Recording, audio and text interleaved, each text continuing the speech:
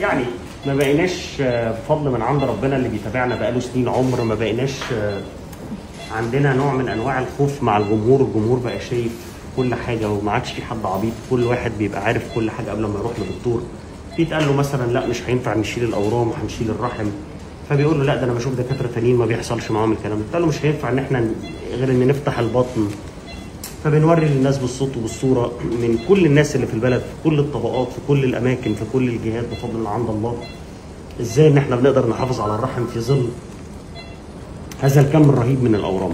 فمعانا هنا ورم 7 سم ومعانا ورم هنا جوه 8 سم معانا ورم هنا 4 معانا ورم هنا 4 وفي أورام تانية جوه حوالي 2 أو 3 تانيين يعني معانا توتال أو مجموع أورام بحوالي مثلا آه، 14 ل 15 سم على الأقل. في الكبر أو الطول. واخدين أشكال وأحجام مختلفة وده لازق مع القولون لزقة خفيفة بفضل من عند ربنا إن شاء الله هنتعامل معاها.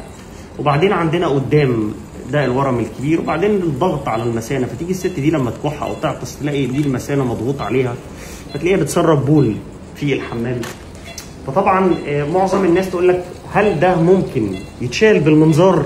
فطبعا لو مرت على عدد كبير من الأطباء أنا واثق إن هيتقال لها آه، بنسبة كبيرة جدا 99% من الناس إن لأ ما ينفعش إن ده يتشال بالمنظار آه، ويكاد يكون البعض ممكن ي- يخطأ أو أو يعني يعيب ممكن في دكتور زميل أو حاجة ويقول لأ طبعا مستحيل إن ده يتشال بالمنظار الحقيقة إن إن شاء الله ده يتشال بالمنظار وهنوري دوت والناس تتفرج على ده. وهوريكم بعد لما أخلص إزاي إن إحنا هنحافظ على الرحم والرحم يبقى شكله طبيعي وكويس. بإذن رب العالمين ونقدر نشوف معالم لهذا الرحم اللي مليان اورام ربنا ييسر لنا الحال ويوفقنا بإذن رب العالمين. شكرا.